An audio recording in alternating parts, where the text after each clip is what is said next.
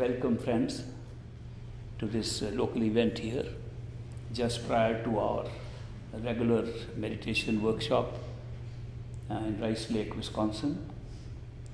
And we are having these uh, meetings. We thought that these are small meetings for local people, but I find the locality has increased in size. And now it extends to uh, not only Wisconsin but Minnesota also. So anyway, I'm very happy that you were able to make it all the way to this place for attending one of these local meetings. The idea of having these meetings is to remind our minds not to forget our priorities in life. If we don't meet, our mind gets so strayed away and floats into all other activities and distractions. But by meeting regularly, we get a reminder that do not lose your priorities in life.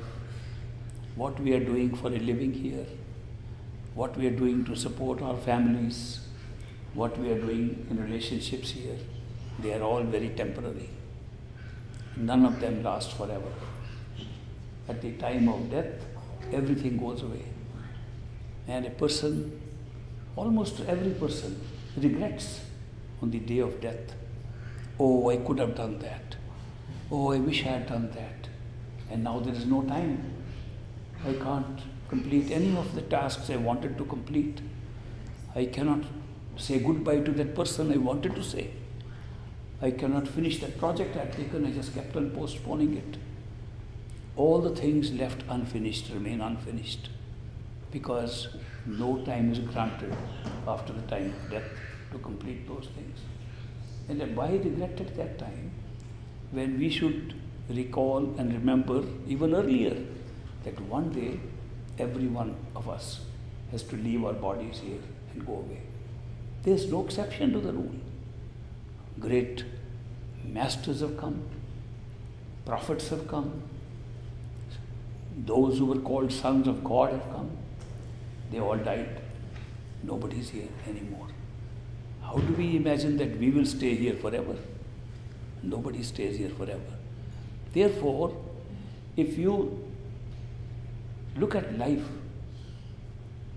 in the context of total time, in the context of the birth of this planet, which is four and a half billion years ago, in the context of the birth of this universe, which scientists say is 14 and a half billion years ago. What is life of 100 years? It's such a small speck.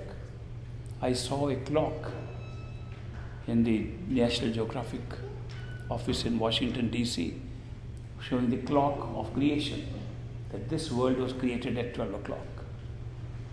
And at 12, there was nothing existing, zero. At 12, the stroke of 12, we don't know if it's 12 midnight or 12 noon, I suppose it was midnight. It's all dark. So at 12 midnight, the clock struck and the big bang took place and this whole universe came into being. Out of that nothingness flew out time, space, gravity, all the laws of nature. They flew out of that zero space, zero time. From the Big Bang, the whole universe was created. And as the clock moved, those gases of hydrogen began to turn into helium, and from helium into other metals. And in 14 and a half billion years, they have produced more than 190 basic elements of the periodic table. And they kept on growing. They, the add, adding of elements slowed down. Today, the elements are being added very slowly. It takes a few million years to add one element. So, in the several next billion years, more elements will be added to the periodic table.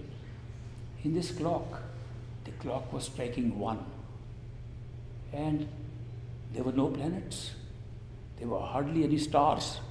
Gravity was working its way to convert energy into matter, and by gravity's pull, put them together, and stars were born.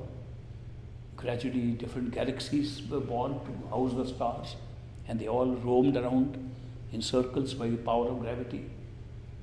At 2 o'clock, there were still no planets that we could see.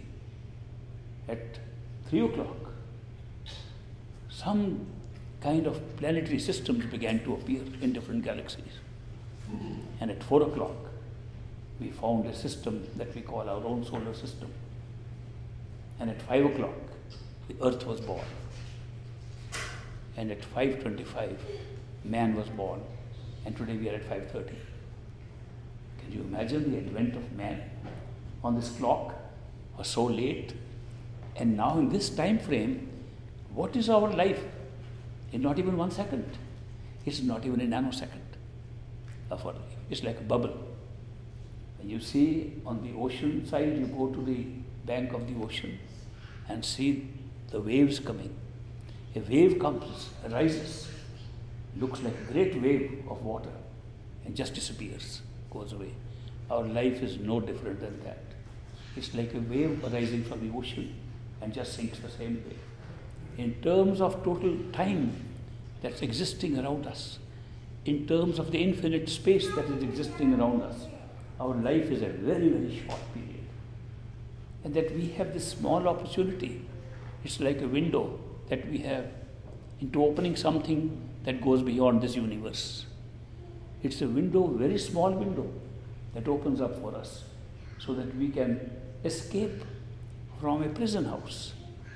We don't realize that we are all prisoners.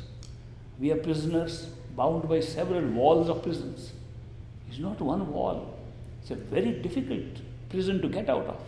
If you break one wall, you get a, a, another one. You break that one, there's another bigger wall. There's wall after wall surrounding this big prison in which we are imprisoned. The one pr- uh, prison that is around us are called shackles. You know, when dangerous prisoners are captured by the governments and put in prison, they shackle them. They put irons around their feet so they can't move. They put uh, handcuffs. They tie them up. Depending upon how restless the prisoners are, they really tie them up.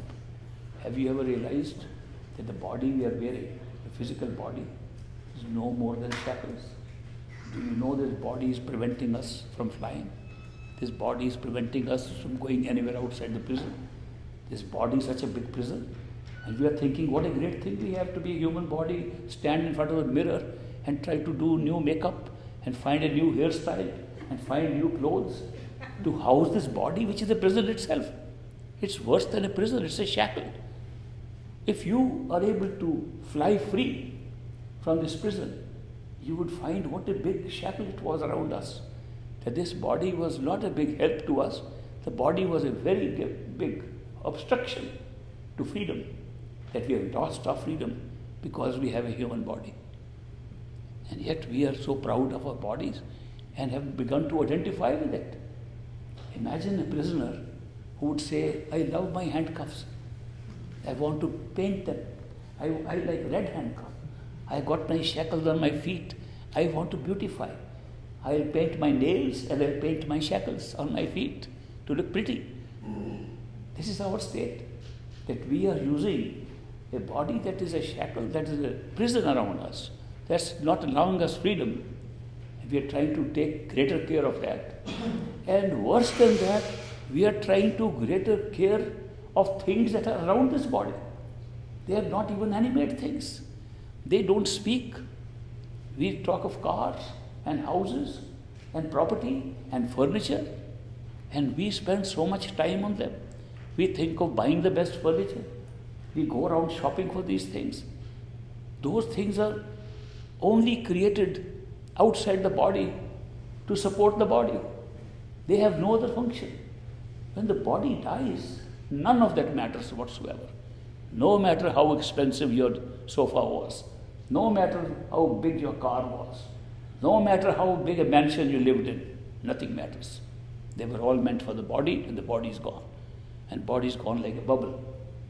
It rose like a bubble and disappeared like a bubble. Everything else was left behind in time.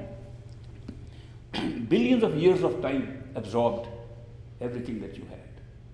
And you withdraw, your attention withdraws from the body and discovers why did I waste my time? What was the purpose of life? Why did I become human? Just to gather things which don't go with me? Just to spend my time in the company of things that were unreal, disappeared because I died in my body? Did I not miss out something? Was that the very purpose? Therefore, these great explorers of things beyond the body have come and told us. The great mystics, masters, prophets, sages, yogis, they have come and told us that the body is not yourself. It's merely a cover upon yourself. You are imprisoned in the body. Release yourself. Release while you can, that there is a window open through which you can escape even now. There's a window open within the body while you are in the prison. There's only one window open, but nobody can see it because the eyes we see with are located outside the body and we can only see things outside the body. Therefore, we cannot see where the window is. The window is not outside the body, nor is it upon the body. It's inside the body. Since the window of escape is inside the body, nobody can see it. These mystics come and tell us that there is a real window into which you can fly out and at least experience what your reality is, experience where you would go when the body is no longer there. Why don't you at least try it out? If you don't believe that there is a window, it's all right. You don't have to believe it. If you don't believe that there is water in this cup, you don't have to believe it. But if you drink it, it is there. You experience it, it is there. So the mystics say it's not a matter of believing. All religions are based upon belief. Spirituality is not based on belief. Religions have departed from spirituality basically in this way that they depend on belief systems, whereas spirituality depends upon experience. Spirituality it does not depend on believing there's a cup of water lying somewhere. Spirituality believes go and taste it and then say there was water there. Big difference. There is nobody stopping us from trying to find that truth. There is nobody telling us, don't go and check out if there's a window inside or not. Who is stopping us? Nobody has ever told us in life, don't go and look for the window. then who is stopping us? If you come to think of it, it's only your thinking mind that is stopping you. Nobody else. Your own mind stops you. Your own mind has developed an empire of its own. The mind that was given to us as a wonderful slave, a servant, to work for us, so that we can think with it, so that we can read with it, we can talk with it, we can do thousands of things, we can manifest universes with our mind we can connect to the universal mind and see the whole of the universe through it. This beautiful mind that was given to us, this wonderful machine that was given to us, by its own functions, by going through the sense perceptions outside, and by developing relationships, possessions, contacts outside, developed its own empire and does not want to lose its empire. When you tell yourself, which means you tell your mind, I want to see. That man says there is a window inside us. I want to go and see the window. The mind says, forget it. All the windows are outside. Here you've got so many windows on your body through which you are looking out. Your eyes are your best windows, the windows of the soul and the mind and everything in you. There are so many other windows on your body, and they're very pleasurable. Ears to hear music, and then there are uh, other windows, nose to smell fragrances, then lower apertures to have sex, and enjoy other activities of uh, relationships. There are so many windows attached which more take you outside of your body. Have a good time. That's what you are here for. The mind does not let you go to the window that lies inside you. And that is why mystics have to repeatedly come and tell us that your high priority in life is when you can discover a window, please do so and that is only possible during this very, very short experience of a bubble called human life in which you can discover that window. Don't miss it. If you happen to be in any other life form, If you happen to be a tree or a plant, like outside, you see those trees and plants, they all have life, they all have growth, they all have souls. You'll be amazed to discover they have the same kind of souls you have. The soul is no different, the minds are different, the bodies are different, the forms are different, but the soul that makes them alive is the same. And yet, they cannot find the window. There are birds flying outside, there are animals flying outside, there are angels flying in heaven. They cannot find the window. Here we have one unique example out of all the 8.4 million types of species of life forms. They have been recorded in some old Indian Vedic traditions that there are 8.4 million types of species. And the highest species, based upon the predominant elements in them, are only 400,000 out of that 8.4 million. The 400,000 species includes all the angels, all the gods, all the higher entities that govern different realms, plus human being. Human being is just one of them, one of the 400,000. That there should be one form of life out of 8.4 million species of and that the only form in which a window can be discovered inside that form is a very unique situation. We have explored this, that there is no other form in which you have the window open. And therefore, by frequent meetings like this, all we are doing is to keep on reminding us don't forget the inner window just by trying to constantly utilize your outer windows and constantly getting distracted by those windows into the mind's empire. Don't accept the mind's advice because the mind will always say, Oh, so much important thing that I have around me. Because the mind has set up an empire and does not want to lose that empire. Therefore, the mind will constantly tell you to go and take care of things. After all, I'm a human being. I have to take care of my bills. I have to take care of my job. I have to take care of my family. I have to take care of all those things. Aren't they important? They are very, very important for the mind, absolutely unimportant for the soul. But we forget about the soul. We identify ourselves completely with the mind. We think the mind is us, and therefore all the interests of the mind are our interest. And that's where we should spend our whole life, and we are doing it. It's amazing that the window remains closed inside us, an escape from the very prison, from the series of prisons. This body being the first prison, which is like shackles upon, the, upon us, the attachments of the world being another prison that will never let us go out, the whole physical experience being a big prison for us.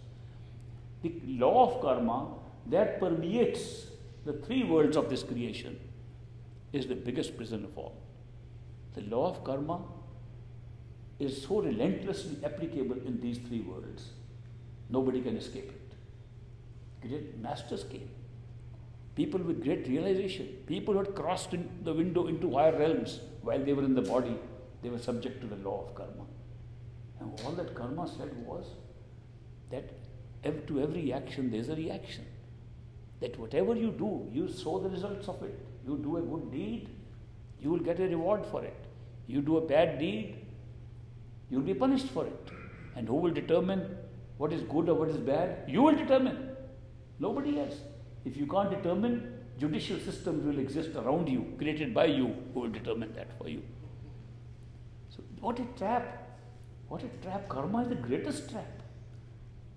In the Indian lore, in the Indian mythology, they talk of uh, Lord Krishna, an avatar, one who had knowledge and realization of the truth and reality beyond this physical reality. Even when he was a young child, they said that he had knowledge. He had his, he was a little cowherd. That means he looked after cows of the village. He took the cows out for grazing and would bring the cows back in the evening. And therefore, there were some cowgirls also in those days, like you have in America sometimes. And those were called gopis. And he frolicked with them and played with them. But he spent a lot of his time with his young friend whose name was Udo. And Udo was the same age as a young teenager with uh, Krishna. And one day, Krishna stopped Udo when a ant, a little black ant, was crawling on the ground. And he says, Udo, have you heard of karma? He says, No, Krishna, I never heard of such a thing as karma. He says, Karma is that whatever actions you do, you have to come back to pay for it. That's called karma. That it doesn't matter if it's good or bad. Good karma will bring you good results. Bad karma will bring you bad results. Some good will bring you some results, some bad will bring you some results, but they will not cancel each other and they'll tie you up forever here. He said, Look at this ant crawling on the ground. Look at him carefully. And Udo looked at that black ant crawling on the ground. And Krishna says, Three times this ant has been Indra, the ruler of one of the heavens. Once he has been Brahma, the creator of this universe, occupying the universal mind as a creator. Today it's an ant because of karma. Very good karma took him to the highest positions of creation, became a creator. And bad karma brought him as an ant. Nothing cancelled each other. He says, Udo, the law of karma is relentless, it's unexplainable. It covers everybody. And therefore, in, in eastern Punjab, in the land where Krishna was born, I went there once to see how people live in the land where this great avatar, this great incarnation of Vishnu God, Vishnu God of sustenance came. And what do they believe in? And they were poor people working in the gardens, in the fields. In the evening, they would have a little smoke and they would drink some kind of a strange kind of a concoction that made them roll their heads and sing. So I thought that that must be some kind of a drug they are having that rolls their heads. But what they sang, the refrain of the song they were singing was amazing. All they said again and again was, Are Udo karman ki gat nyari se. He said, Udo, the nature of karma is very strange, unexplainable. He kept on saying that. And that's one of the main songs in the land where Krishna was born. He's talking to Udo about that incident, what karma is. This is a bad enough picture of karma. It's a horrible picture of karma. An American disciple of great master had to point out to me the good side of karma. That karma, good and bad in combination, is the best thing that could happen to us. Now that's another story altogether. How can good and bad karma in combination be the best? That good and bad karma in combination is better than all good karma, is better than all bad karma, and it's the best thing that can happen to a person. Because that was an American disciple, Julian Johnson, who first discovered, much to his surprise, that the events that happen in our life, which are good and which we like, we, we get money, we get nice living, we get nice kids, we get uh, nice promotions, we get to travel, we do all those good things. Those are good karma. And then we get sick, we fall ill, we have accidents, we go into trouble with people, our relationship break, we get disappointments, that's bad karma. That unless you have both good and bad karma, there is no way you can be a human being. Because if you have all good karma, the other places, heavens, several heavens designed for such people, for such souls and such minds to go and reside there. If you have all bad karma, there are several hells built up in the astral, sub-astral planes where you can go and reside because of all bad karma. You have to have a combination of good and bad, both giving you joys and pleasures at some point and sadness and depression at another point, that you have to have this combination to become human. And only in the human life, one species out of 8.4 billion, only one species has the ability to go within and open the window inside and escape from the whole system of karma. There is no other escape. How do we escape from this? Because the mind functions and operates as our will. The mind does not merely think on its own, it functions as a will. It, it makes you feel that you have many options in life all the time, at every point, and you have to make decisions. Do you go left or right? Do you join this job or not? Do you eat this food or not? You have to make choices all the time. And therefore, you are expressing a will through your mind. That mind's will, the moment it's expressed within yourself, creates a karma. Therefore, it's inevitable that you will create karma. It's very difficult to believe that there can be a life in which you don't use your mind at all for deciding about things. Therefore, you decide all the time. Therefore, you create karma all the time. Therefore, you come back to pay for it or get reward for it all the time.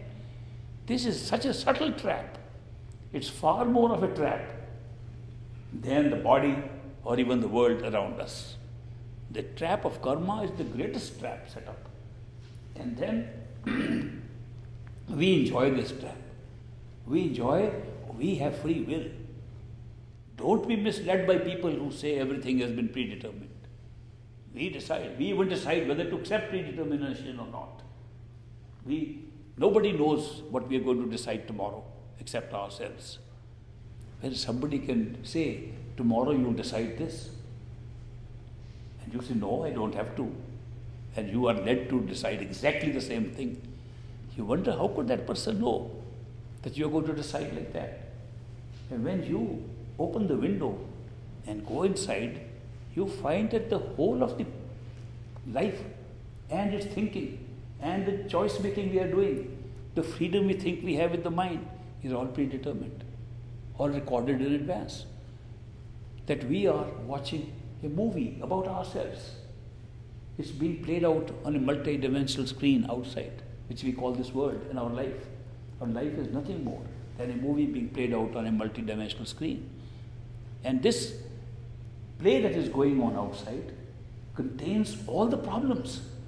When we watch a movie and we say, hmm, this guy now has to make a big decision. In the movie, he has to make a decision. We forget that decision is already made in the next scene. And the scene has been pre recorded, filmed earlier. But we are carried away with the movie. And we say, let's see what he deci- decides now. As if he will decide when we are watching, sitting in the theater that he is going to watch. You remember I told the story once about a young man in India who went and saw a movie in which a girl is about to take her clothes off and jump into a pool. But there's a train track in front. And as she tries to take the clothes off, he wants to see what she looks like when she's nude. But the train comes in front. And by the time the train passes, he's already in the water. He misses the scene. He went 20 times to the movie to see one day the train will be late. This is our situation. We are thinking that we are really controlling the events around us, whereas the events are totally predetermined, including the fact that what, what we will think, what we think we are deciding with our free will, it looks like free will. It's totally predetermined. How do we know this? is totally predetermined by a very simple step of going within through the window, which lies behind these eyes, inside the body. You go through the window and climb up on the second floor inside. You go to the second floor, you'll find the entire text, the entire script of your life pre written there. Every page contains all the decisions you ever made and all the decisions you will ever make in future, thinking you are making those decisions at that time. Just like you think an actor is making a decision on the screen when you're watching it and saying, now, will he do this or not do this? Because you haven't seen the next scene, you begin to give credit to the fact that he's going to make a decision now. It's pre filmed, it's already there. The fact that human beings have an experience out of sheer ignorance that they have free will is a great thing. If the ignorance were not there, supposing we could all, at any time that we wanted, look at next five minutes of our life, or next ten minutes, or next day, supposing every one of us could just see what is going to happen, what a terrible, bored, boring life it will be. That we are have no control over anything. We are just going through a script. It's like a play. We are acting on a play and we have no real life at all. It's terrible. Just the ignorance of what is going to happen is making life so interesting, making life so real, making our free will so real, making us believe that the mind is a reality and has the same power that any free person could ever have. So the mind, by acting in a certain way, works on a script which is part of the karmic pattern, and therefore karma is not only a very relentless, terrible prison for us. It's a prison which we seem to enjoy after a while because we say we are, we are making decisions, we are free to do what we like. We should not be allowed, our mind should not be allowed to be influenced by anybody. We'll work on our own. We say all those things. And then we go and read in the Akashic records where we picked up the script all that thought was written, pre-written already to make it real.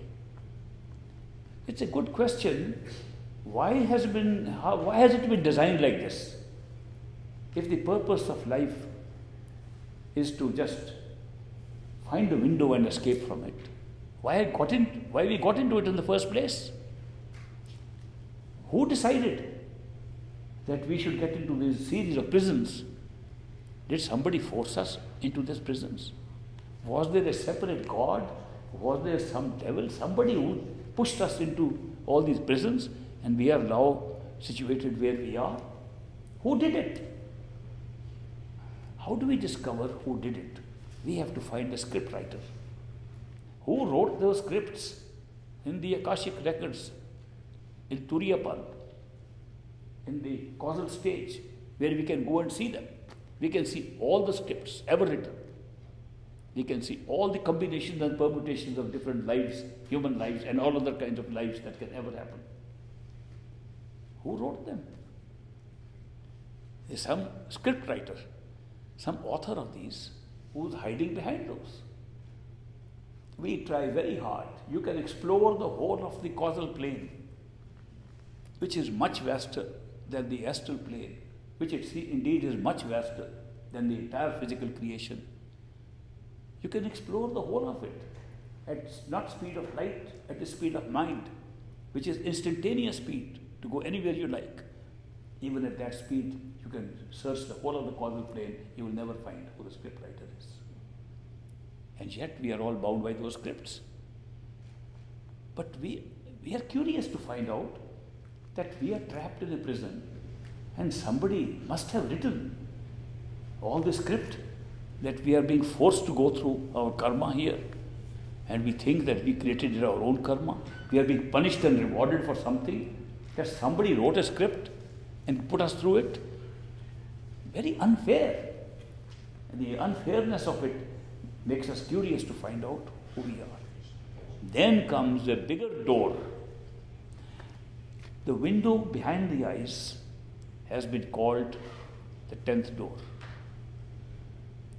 The window to go beyond the physical universe, beyond the physical experiences, has been called the tenth door just to distinguish it between the nine doors, the nine apertures which are on our body outside to eyes, to ear, to nose, mouth, and to lower apertures. These nine doors that open outside. The tenth door opens inside. And the inner window is called the tenth door. When you go to the top of Trikuti, if you read literature, Sant Mat literature of the mystics, say Radha Swami mystics, you see their literature, they talk of a tenth door behind the eyes, then they talk of Daswan Dwar, tenth door above the mind, above the causal plane. Par Brahm has been called the tenth door also. It's amazing that the word tenth door has been called not only here to escape from the physical prison, but to escape from the whole prison of the mind.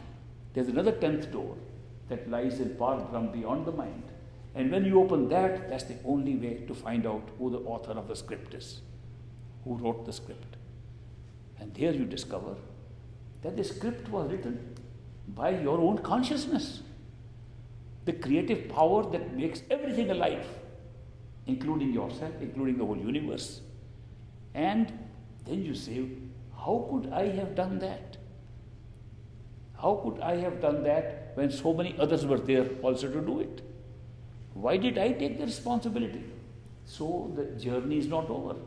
The spiritual journey goes beyond that when you say, I want to understand that if I am consciousness, the creator of all conscious experiences, the creator of all universes, the creator of all that has ever happened, if I am the cause of all that, what about the others like me? What about other souls who are all units of consciousness like me? What about them? And then you have to move one step higher. That step is the most difficult step. It's called the step of going through a darkness which whirls and turns you back again and again. It's an amazing, it's, it's an amazing whirling darkness. That means a darkness through which you want to walk. Supposing you have a dark room to cross, a large dark room, and you find that you to go from one door to another door to go over a cross, and you go and you say, Now I've reached the other door. And as you reach the other door, you open, you're back in the first door. That you never went. The darkness itself turned you around and turned you around several times, so you never know which side you're going. Every time you want to open the other door, you go back to the first door. This is just above the state when you discover you are a soul, the mind has been left behind, karma has been left behind, all the prisons have been left behind. You are free, and still you are being turned back by your blackness, darkness there. How can that be? And then you discover that there is such a big whirlwind of darkness. That darkness is bigger than the entire creation of all the three regions. It's so huge. Therefore, through that darkness, they say, no soul, no individuated soul has ever passed without the help of another soul which is already tied up with the universal soul above it and remains tied up with that universal total soul, total consciousness. Only total consciousness can pull you out from your individuated consciousness through the darkness. So it's been in the literature called Bhavar Gufa. Bhavar Gufa means the whirling cave. They call it the whirling cave. It swirls around, and therefore you enter the cave to go to the other side, you come out from the same side. No matter how hard you try, no matter how much you go into that cave, you can spend eons, you can spend millions and billions of years of physical time, and you still come out from the same side. It's an amazing experience sitting there, and only somebody, some soul, which has already crossed that, crossed that great darkness, with the help of another soul which was tied to the totality out beyond that. The total pulled the little individuated inside. That's the only way to cross it. That has also been called the crossing of the tenth door into the Bhavar Gufa, the swirling cave. And then that power can pull you out, which itself is on the other side. Indeed, who's that power? Do you know who that power is that can pull you through that swirling hole? It's the power of a perfect living master sitting in, in our midst in a physical body here.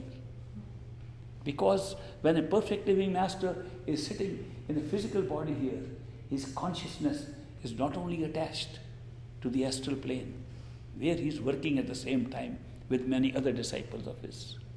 He is not only sitting in the causal plane, where some souls have been sitting for millions of years with the same master. He is not only operating in the Parbrahm beyond the mind at the same time when he's sitting with us as a human being. He's not only operating, he is operating at the same time in the fifth region of Sachkhand, the totality of consciousness, and he never leaves hold of that. Therefore, since he is not left hold of it, he is still the totality of consciousness even when he's sitting here and he can pull us through the swirling cave, the Bhavar Gufa. What an amazing arrangement. How can we ever judge? How can we ever know the power, the reality of a perfect living master? An ordinary person who lives like us, dresses like us, eats like us, sure, sure, sure, like us, should shave and shower. And then, on top of that, he falls sick like us and in his body dies like us. What else can you imagine? a person who is absolutely like us should be at the same time, while he's a person like that, holding this kind of consciousness that he's aware at all times, not only of all the regions of consciousness, but the totality of consciousness which can pull you through a Bhavar Gufa. The spiritual path of perfect living masters does not end anywhere less than Sachkhand, our true home, our true reality, our true totality. It's only when we reach true totality we discover who the scriptwriter was. That was not only the scriptwriter of one particular life, the scriptwriter of the entire creation. Scriptwriter for the whole of this creation, for an adventure of consciousness, for an exploration of the power of consciousness. That consciousness can be conscious of anything it wants to, of any power it wants to, of any scenario it wants to, of any universe it wants to. That the consciousness is continuously experimenting. By creating time, it can create universes like this one. By creating no time, it can create different, different kind of universes with no time. It can create universes like this physical universe with gravity as a great power. It has created several universes with no gravity and other forces as its main power. That consciousness, how does it create? What's the great secret about consciousness creating such big universes, such great life, such interesting activity, such interesting life forms, and then karma and karmic patterns? What is the modus operandi? How can consciousness set up all this? When you reach there, it's the simplest of tasks. What is consciousness? Consciousness is the power to be conscious. Conscious of what? Of anything. It only has to be conscious, it becomes creation. When consciousness says, I'm conscious of this universe, the universe comes into being. And who observes the universe? Who experiences? Consciousness. And it wants to experience the universe from a different angle, becomes a soul, becomes a point of view, or different place in different places. It wants to explore a different kind of reality. It puts on a mind and creates time and space through the mind, consciousness creates. It wants to explore more, it makes the reality by creating a law of karma under the mind. It wants to have fun, says, let's have fun. And he sets up universes like the one we are sitting on and planets like this. If consciousness intention was to have fun, are we having fun? I thought we were supposed to have fun.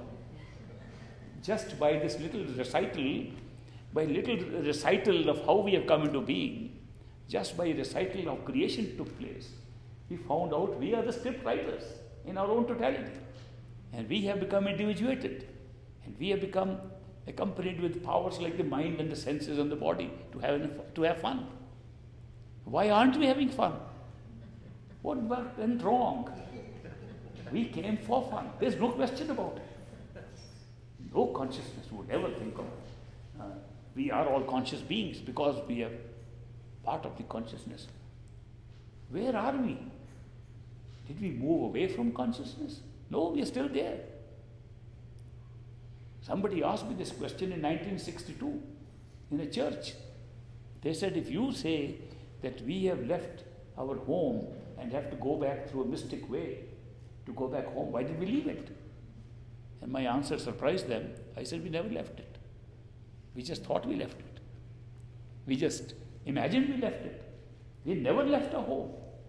The spiritual path is not going anywhere. The spiritual path is to recover your own consciousness, who you are. It's a travel through layers of consciousness. It's a travel through layers of awareness to discover who you really are.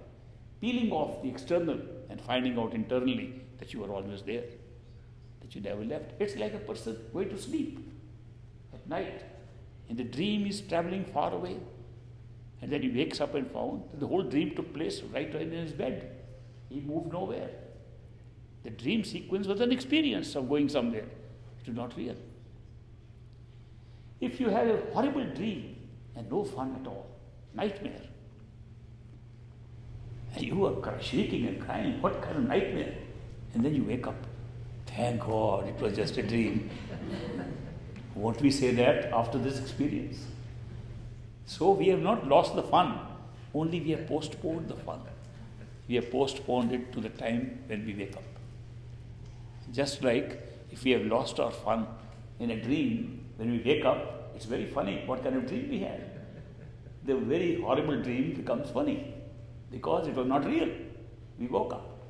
Do you realize that the levels of consciousness we are talking about, into which we awake, level by level, stage by stage, we go through those levels. Each one is like a wakefulness. Each one awakes us to our reality, and what we thought was real becomes a dream. This is a dream. It looks like real because we are not awake. We wake up, this becomes a dream, and we laugh at it. The next one, which looks real, we wake up, becomes a dream. Then we say, now we have come to reality, where the whole creation is taking place from. And we wake up, that becomes a dream. Then we say, no, we have to go beyond. And the, soul is the reality. We have to go to the Par Brahm, beyond mind, and go there. And we enjoy that we have found out who we are. It's just a dream. We wake up again, another dream. Then we find we wake up into consciousness. The whole sequence of events was all dreams, one after the other. Therefore, how do you feel when you wake up? You feel that was some strange fund which we set up. That were strange triggers that we built into the system so that we could have some excitement and fun. And one of the experiments consciousness has tried very successfully is to try to create an experience by the principle of duality. That means by creating opposites. That's worked out very well for consciousness. That if you create something in pairs, that means you create electron, a proton, negative, positive. You create light and darkness. You create life and death. If you create everything in pairs, you are bound to experience them. If you don't create in pairs, you won't experience them. Very simple. That if you want to create a universe that is lying within the realm of physical experience, that is lying within the realm of astral experience, or within the realm of causal experience, it has to be in pairs. Otherwise, you won't experience it. An, experience which has no opposite cannot be experienced in the three worlds of the mind, senses, and the physical body. The physical body only experiences what the opposite of it can also be experienced. Great principle. And the principle has been applied very well. Except that when we applied the principle to pleasure and pain. We said to have pleasure, you must have pain, otherwise, how will you know you're having pleasure? When you have pain, then you say, oh, this is painful. The other is pleasurable. You distinguish it.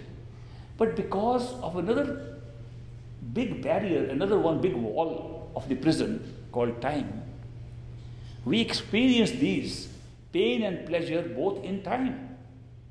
We can have pleasure for five minutes and we can have pain for five minutes. But when we have pleasure for five minutes, it looks to us like one minute. And when we have pain for five minutes, it looks to us to be 15 minutes. Therefore, although we created all things in equal balance, we created all the opposites in exact equal balance, our experience changed. Our experience changed because those experiences were placed in time.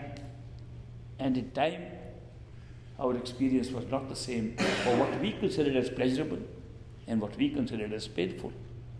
So we had a problem that we actually began to feel more pain than pleasure, although both were equal.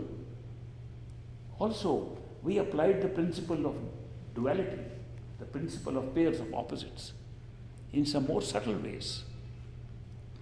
The most subtle way was that in order to create the pairs of opposites, there has to be a state of being which is not in the pairs of opposites. Otherwise, how will you experience opposites? So you had to retain a life form, an experience of the soul in Parbrahm and Sachkhand above the mind, which has no opposites, in order to make this experience of pairs of opposites the opposite of that. Not only it helped to make this world and this universe a world of pairs of opposites and duality, It made the real world of no duality into a duality of this world. We could not have even experienced Sachkhand if we didn't have this. What an amazing situation. What does consciousness really need? Consciousness needed this. Consciousness needed that even with no duality at all, we have to create a world of dualities in order to experience that we're living in a world of no duality. Otherwise, it wouldn't be experienced. Look at the inevitability we created in this creation. It's inevitable that each part of it must exist for the rest to be sustained. So that is amazing that we set it like this. How can we have fun at every level of this creation, which was the design? We should be able to have fun and enjoy that we created pairs of opposites. We should be able to have fun that there is something less shackled than the physical world, than the physical body, that there are freedoms available to us free to fly, free to go to galaxies, free to go anywhere in the created universe. Not that we are strapped here, we can't go to another planet even over here. We can't even go to another star from here. And we're so, so much uh, restricted. This is a very big restriction on us. And here, just by releasing ourselves from this body, we can have that experience. Maybe we can wait for death, pray. Okay, when we die, we hope we'll be free. Some people wait for that. Some say, but supposing it is even worse, supposing we go to hell, then what happens? So they are afraid. Now, because the hope and fear are also opposites. We hope for good things and we fear bad things. Since fear is like pain and hope is like a reward, like pleasure, when we have equal hope and equal fear, fear overwhelms us and hope disappears. Hope becomes one tenth, fear becomes ten times more. Therefore, we are afraid of death. It's amazing that death, which can be seen as an equal liberator, a death that can liberate us from this shackle and maybe take us freedom, flying with our souls anywhere. Or the fear we can go to hell. In this combination, we are more afraid just because of the time factor. Time has been caused the most subtle negative thing that ever was created. And yet, time is the only thing that is making us have all the joys and pleasures and fun of this world. Amazing that the most seductive thing created, the one on which all the pleasures have been laid out, on which all the pains have been laid out, on which all lives have been laid out, should be the greatest trap for us. That's time. Time has been called the creator of all negativity. Time in, uh, in literal Hindi or Sanskrit translation is Kal. Kal means time. Kal has been called the negative power that's governing the whole thing. Whatever has been created in Kal, whatever has been created by Kal, whatever has been created by the negative power of time, that's the, created all the traps for us over here. It's more subtle than even the trap of the karma. Mm-hmm. It's more subtle than any trap. To be able to transcend time, there is no way to transcend time because even in the state above the mind, and we know time has been created by the mind and universal mind has created time, even when you go beyond that, there is a remnant of this time which is very difficult to explain, but I still want to tell you. It's called timeless time. That means that all time is shrunk into zero but still exists, still there. Can you imagine in mathematics, we write zero plus minus zero. Do you know the difference between minus zero and plus zero? Zero is nothing.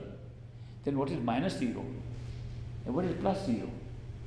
In mathematics, minus zero, if you move from there, will go into minus one. Plus 0, if you move from there, will go to plus 1. Yet 0. The 0 is hiding in it the possibility of minus 1 and plus 1.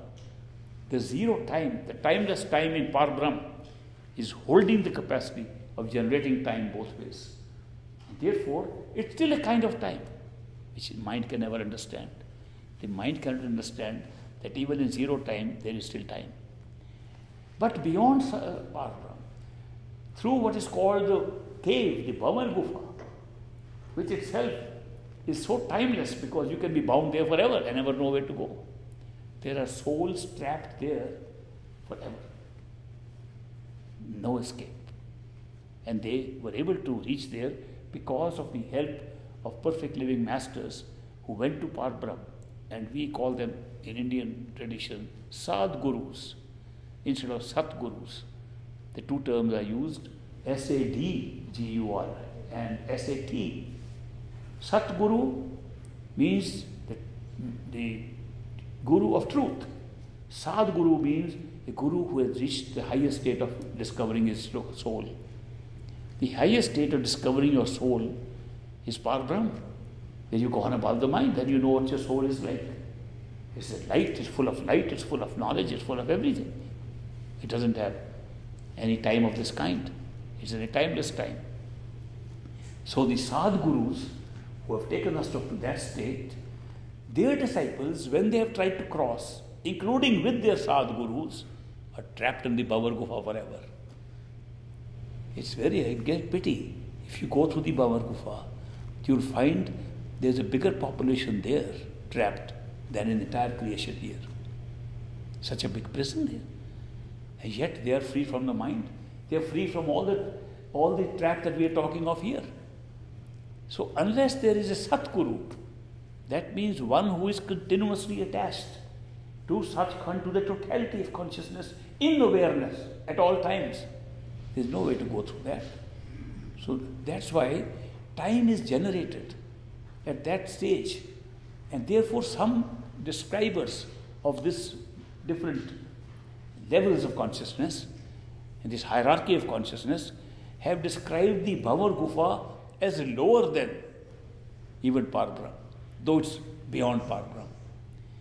So when you draw a map, a physical map of the spiritual path, you say, here we are at the physical plane, there we are going to higher the astral plane, there we go on higher up, and we keep on trying, and we reach Parbrahm.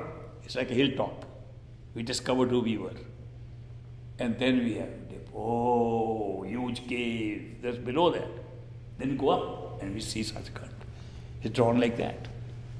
That now one of the reasons why it is said is because Sachkhand, now I'm talking in terms of time and space because there's no other way to describe it. It's a story. I'm making a story. Not only I made the story, Great Master made the same story. Sar made the same story. Swamiji of Radha Swami made the same story. I'm repeating a story because I know and you should know it cannot be explained. We're talking of timeless and spaceless states, and then we're talking of these big things. So obviously there is some little amount of error in that. The error being that you cannot imagine with the mind that state. But the top of Parbrahm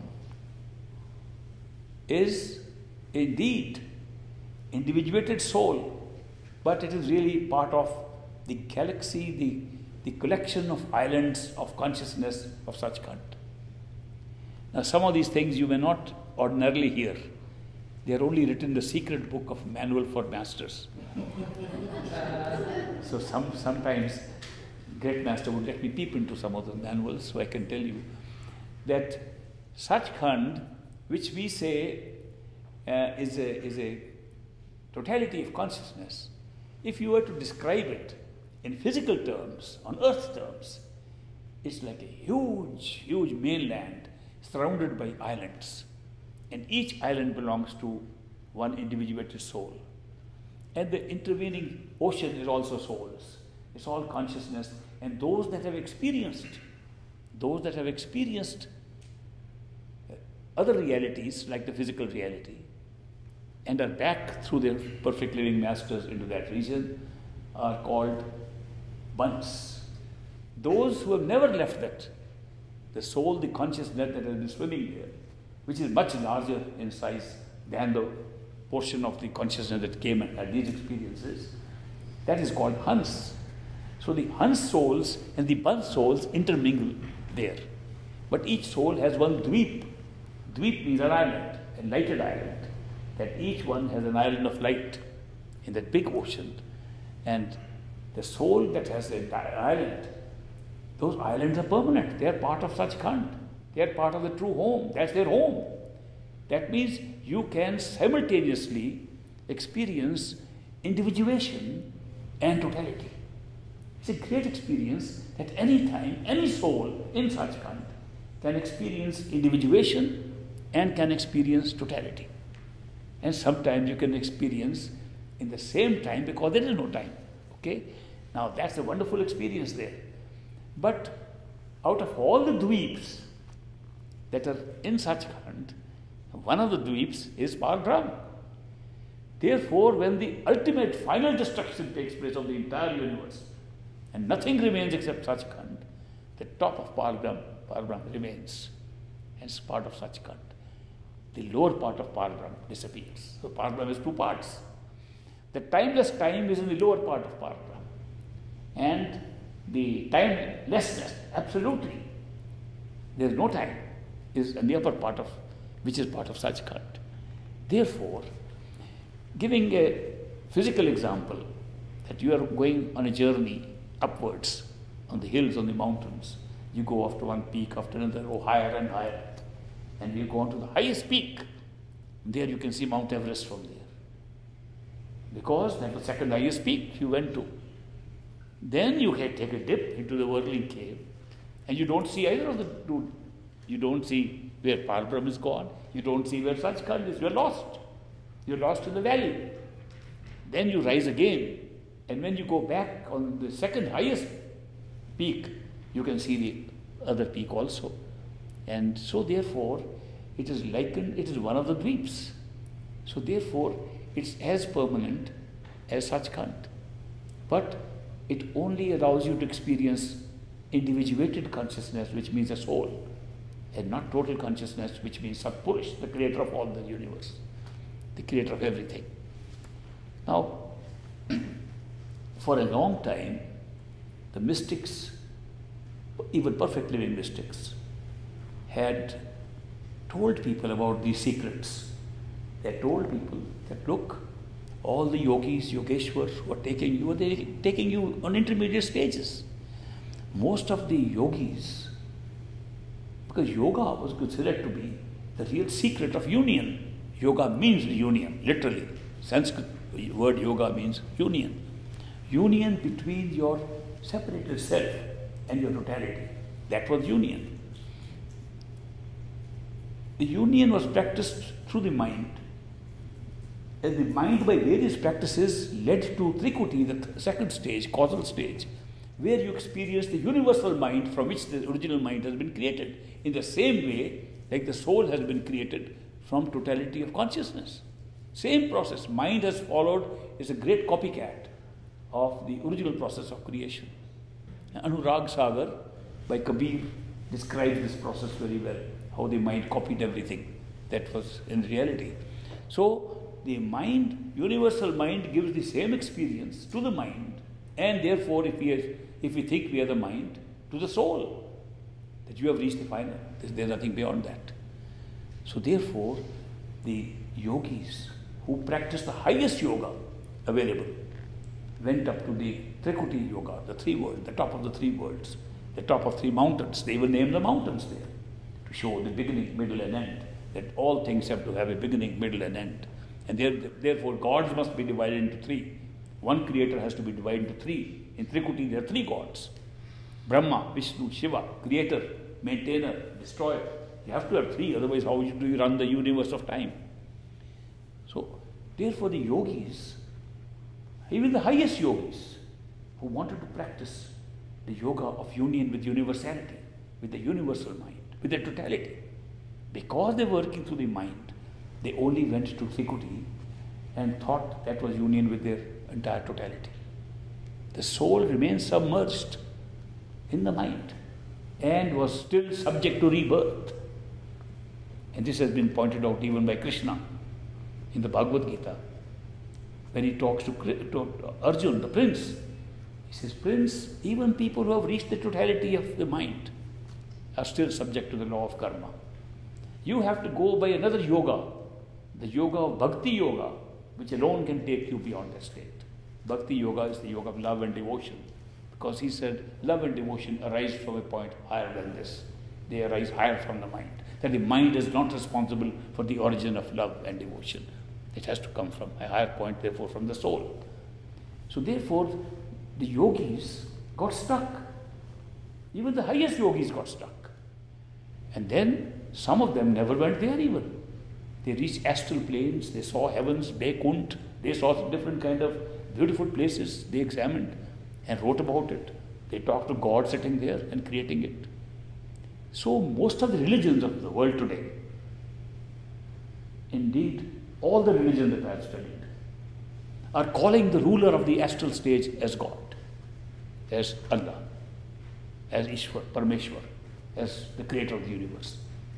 They are calling God of the very first stage above the physical universe as the God of the entire creation because they can go no further.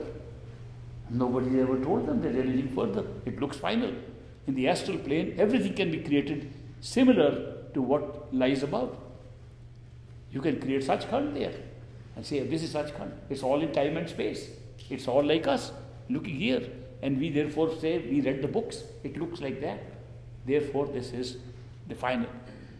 And therefore, we have been worshipping God in any form, with any name, and directing it only to the Creator and Ruler who is a soul like us. By good karma, has become the ruler of that area and ruler of this universe. So that's why religion went far away from even the yogis. And the yogis then distinguished themselves that this is yogi, he only goes up to some point. This is a yogeshwar, this is a mahayogeshwar. So they introduced new titles to show one who could go beyond the astral plane. In due course of time, many other yogis came and wrote their treatises and texts about yoga. Patanjali came. He says, Oh, old yoga was very difficult to achieve. It's so difficult to pull your attention in. Therefore, it's better to do some kind of physical movements of the body, do some things. And he prescribed certain kinds of peace giving, calm, that give you mind, mental calm by lying in different postures. Lie like a dead body. Shavasana, lie, lie like a bird inverted. Another asana, and he recorded 84 asanas to correspond with the 84 uh, lakhs, which is 8.4 million of different species. He said, You just follow different forms of species and behave like them with your body, and you get peace in mind because your mind will be diverted to these asanas, these postures, and therefore you will be union, have union. Ultimately, yoga became merely an exercise of the bodies, which the earlier yogis and yogeshwars were using the same exercises because they practiced their meditation, their yoga, their sadhana, their practice in little caves. In the cave, they couldn't do jogging to keep the body fit. So they introduced the kinds of movements of the body within a small space. That within a cave, you can move your body and get all the muscles exercised. Original purpose was that. We came out of the cave and began to think just those body movements in different forms are yoga. Then we come to foreign countries, yoga travel to the West, and books on yoga written. And they're all about different postures. And yoga centers have opened up around the world, teaching you how to keep your bodies in different positions. Where, what happened to the union with their totality? What happened to going to Sachkhand? We got so far removed from that. And therefore, new kind of tribes of yogis came up. And then these perfectly living masters came in the midst of these yogis. And they wanted to tell them, look, you are trapped. What are you teaching people? You're teaching about the body. And even when you do sadhana, when you do meditation, you're telling them to go into areas of the body which are functioning to sustain the body alive. The six centers of energy in the body, which are sustaining the body. The six chakras, you made them into spiritual centers. And just because the reflection of the six chakras is taking place from another six chakras, and those are being governed by who you name as gods, that you name them as Brahma, Vishnu, Shiva, and all that. Therefore, you're given the same names to these organs of the body, these different positions of the body, and you call them the chakras of energy, and you say that's spirituality. You call your yoga into spirituality. Don't you see? You're misleading people. Don't you see a man who is awake with his eyes open? And he's, according to you, at the sixth chakra, already sitting here. You're telling him, close your eyes, take deep breath, take your attention down into the breathing apparatus, go into the throat and to the lungs, then go further down, then go right to the bottom on your butts. And then work your way hard from chakra to chakra and come back. Where? To the eyes. That's where the knowledge is. Did you know where you started from? A wakeful man started from there. You want to put him down into the lowest level and then say, This is yoga that you bring back, and you say, Oh, I found myself. You're finding yourself before you went into this meditation. Yogis, don't teach them these things. These were meant for exercising the body. These were meant for regulating your energies. These were meant for eating good food. These were meant for seeing what is good for each, for regulating your sex. They were meant for regulating your diet, meant for regulating your breathing. They were meant for physical activities to keep you fit so that you can meditate. And you made that into an exercise for God realization. And you call all this yoga into God realization. This is nothing of the sort. So the yogis had gone down to that level, and the masters came and picked them up and said, No, they said, Do you have a different yoga? We learned this yoga from Patanjali. We learned this yoga from so many Bikram yoga, so many yogas. We heard 20 kinds of yogas. Which is your yoga? The master said, We also have a yoga. Our yoga is called Surt Shabd Yoga. The yoga of putting your attention on the sound. That looks very funny. How can we like music? We like music, we like to chant, we like to play different musical instruments, and we like to put our attention on the sound. They said, no. Surt Shabd Yoga is not listening to any music, is listening to music beyond the tenth door. Unless you can listen to the tenth door within, you are not practicing Surt Shabd Yoga. And yet they call it yoga. You want true yoga. You want true yoga for the modern time in Iron Age, in Kali Yuga, the best yoga you can ever find and will take you to the highest place which we call Sachkhand, reality, Surt Yoga. They said, How do you make that claim? What is so special about this new yoga you have come out with? This yoga of the attention and the sound. They explained that consciousness, life, the very creative power that is making us alive, that's making our souls alive, that's making our mind alive, that power is expressing itself in a strange kind of vibratory form, in a strange kind of form which to us can look like sound. We are not saying it is the same sound as you make with a musical instrument. All musical instruments, you can make them very melodious, but you cannot create a melody that is so sweet and soft that comes resonating without any harshness at all. And that resonance, that sweet melody, is coming not from anywhere outside, it's coming from your own consciousness. It's not coming from your mind, it's not coming from any part of your body. It's coming from your own consciousness. Your attention is flowing from the same consciousness from which the music is flowing. Therefore, if you can turn your attention to its own origin, if you can turn your attention to listen to a music that's coming from the very place where the attention is coming from, don't you think you'll discover yourself? There's another beauty of this sound of consciousness. The beauty is that whereas our spectacular vision of creation changes with the level of creation, which means we go to sleep, it's another world. We wake up, new wakeful world comes up. We go to the astral plane, new world comes up. We go to causal plane, another world. The spectacle changes. music never changes. Music remains connected. That sound of consciousness cannot break because if it breaks, all the experience will be destroyed. We'll neither be here nor there because the music has stopped. So, music never stops if it is connected with totality of consciousness, with Sachkhand, then that music can never stop. Therefore, it's a connection, not only between here and our ultimate goal, it's a connection with every level of consciousness. Therefore, the easiest way, the best way, the royal way, Camino Real, is to attach yourself to the sound because the sound can come from nowhere except your own totality.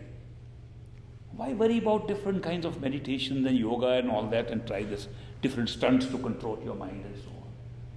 It's very difficult to control the mind. One mystic was so brazen enough in India, he said, if somebody comes and tells me I have made a bridge on the whole ocean, I think it's impossible to make it, but I'll believe it for a moment. Maybe somebody can do it.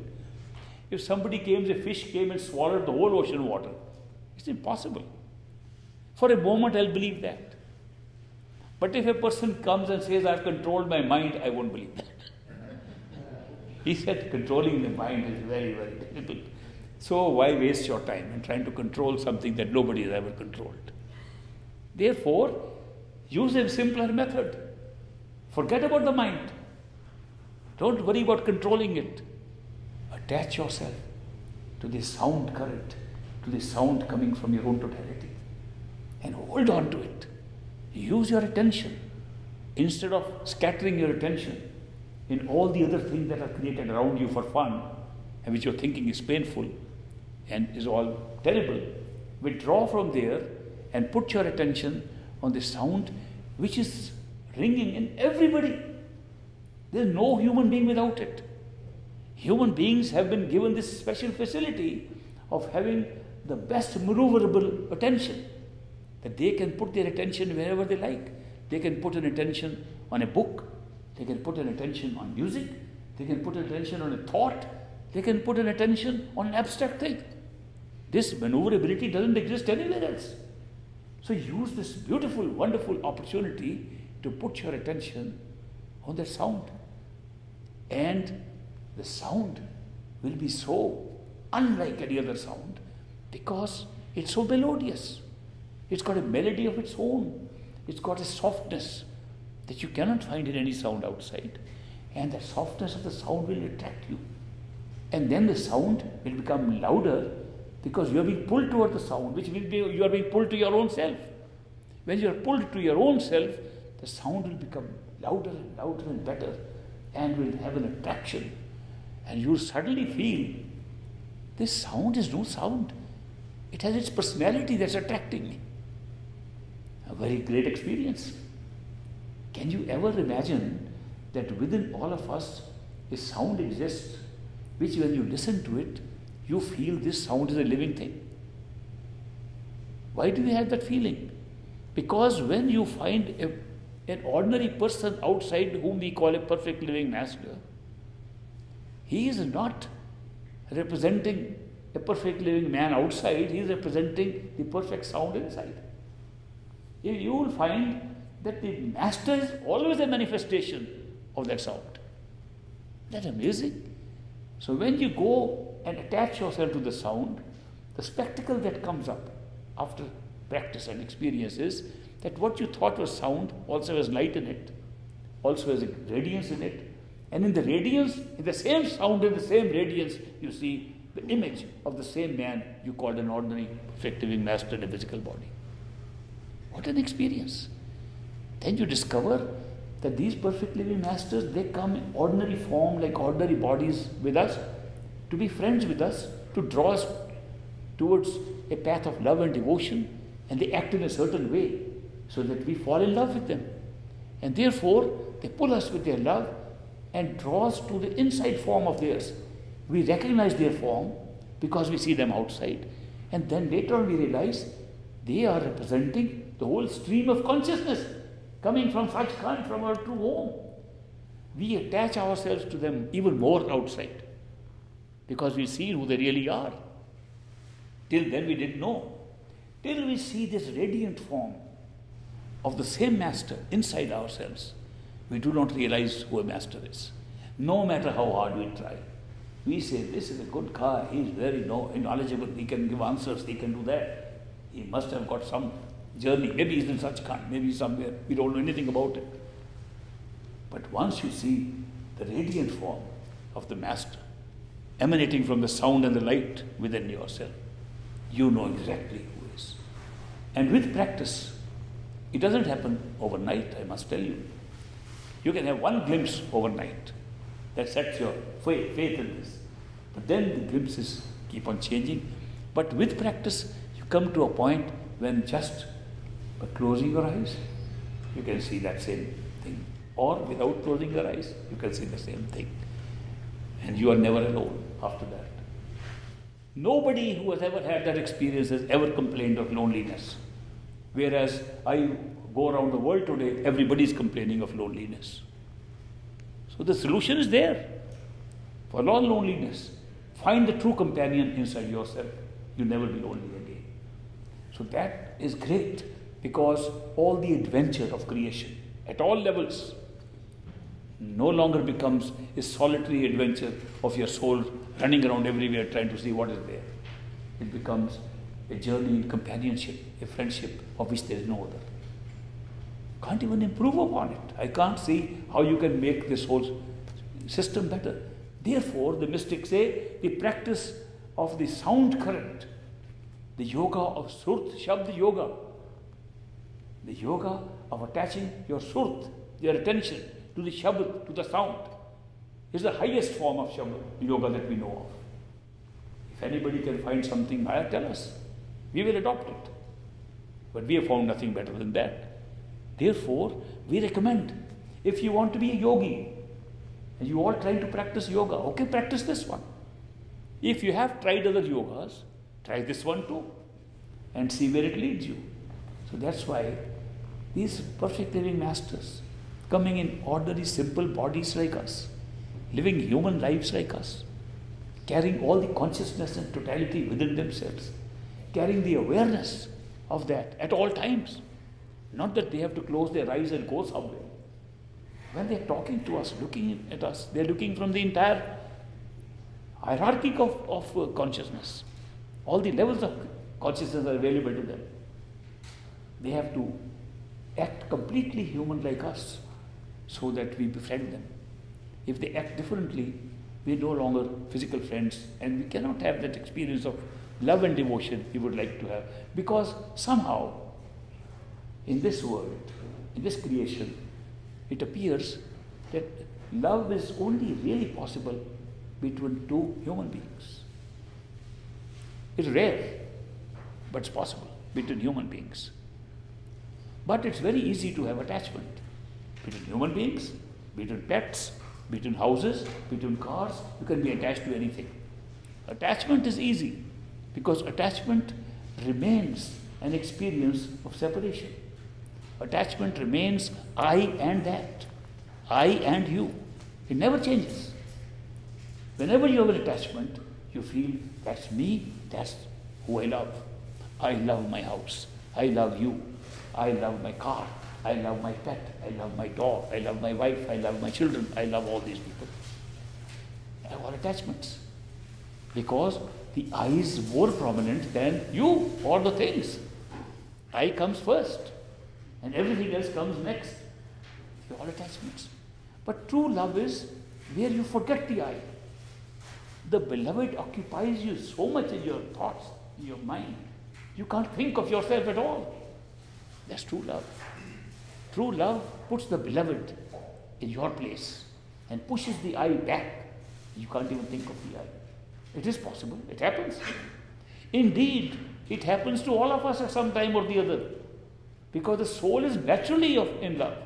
Soul is made of love. Therefore, the spiritual activity in us automatically leads to love. But our mind comes in the way and we start thinking about what is happening. And doubts come, fear comes, they no longer love. And then we are left with attachments. So that is why although the possibility was there that we could love everybody. You will notice these perfect living masters when they come. Have you ever noticed carefully what their love is like? are they attached or are they in love? You should watch carefully. And you see that when they are with a disciple, the disciple occupies the whole of their consciousness, not themselves. They push their own eye behind. They have, don't eye, I in their love for us. So that's why you can see an example. There's no better example than in the love that we can experience from a perfect living master. It's so different. That's love. We all can have it. We all have it in us. Our spirituality calls for pure love. Our mind calls for attachments. So long as we think we are the mind, we are attached. When we become spiritual, love flows through us. So I have taken a lot of your time today. Hope you don't mind because I was in a rambling state. Rambled through all, right? And I hope I didn't catch any one of you in the whirling cave, Bhavar Gufa. And uh, so uh, we are lucky, those of us who have found a perfect living master. I cannot, I cannot think of greater luck that can befall to a human being. I cannot think with all my 84 years of life, with all my experience with hundreds of masters around the world, with all these experiences, I cannot find anything better, anything more fortunate than discovering or being discovered by a perfect living master and getting initiated by that master. I don't know anything better than that in this universe. If any one of you or anyone else in the universe has something better than this, I'll take it any day. Nobody has been able to answer that, give me suggestions the last 84 years. I'll be 85 in November. I'm still waiting. So, therefore, I congratulate you. Many of you are initiated, and many of you are seekers who are bound to be initiated. Therefore, the secret is seeking again.